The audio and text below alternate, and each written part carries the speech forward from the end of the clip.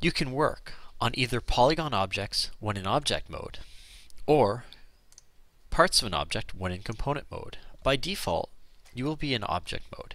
To enter in component mode, first select the object you want to work with. Then select the component mode by clicking on either the face, edge, or vertex modes located here. You can now select the components of the object. To select multiple components at once, hold down the Control key while selecting. To remove a component from your selection, hold down the Alt key and, the, and click to deselect. To deselect everything, click on Nothing. You can now work on just those components.